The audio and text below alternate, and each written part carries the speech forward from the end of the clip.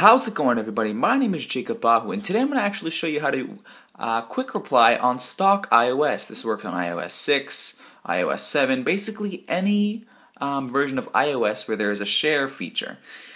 And so, what I figured out is you can always respond like this in the Messages app. You're going to hear my phone go off. There you go.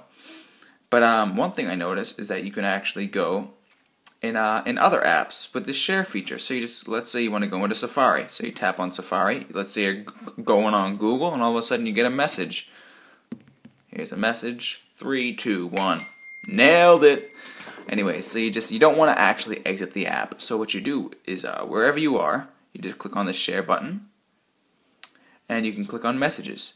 Now I don't want you guys to see my phone number, so I'm just gonna put this up real quick. There we go. Now, as you can see, it actually displays my entire message with my father. So, I can just go back. Can, you can scroll through everything. Or you can just start typing and be like, yo, what up?